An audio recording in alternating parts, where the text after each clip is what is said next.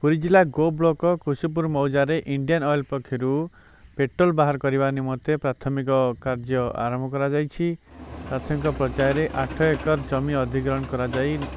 ବର୍ତ୍ତମାନ ଖନନ କାର୍ଯ୍ୟ ଆରମ୍ଭ କରାଯାଇଛି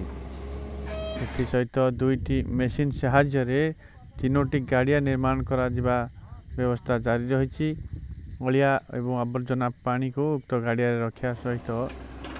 ବିଭିନ୍ନ ପ୍ରକ୍ରିୟା କାର୍ଯ୍ୟ ଆରମ୍ଭ କରାଯାଇ ନେଇ କାର୍ଯ୍ୟ ଆରମ୍ଭ ହୋଇଥିବା ସୂଚନା ମିଳିଛି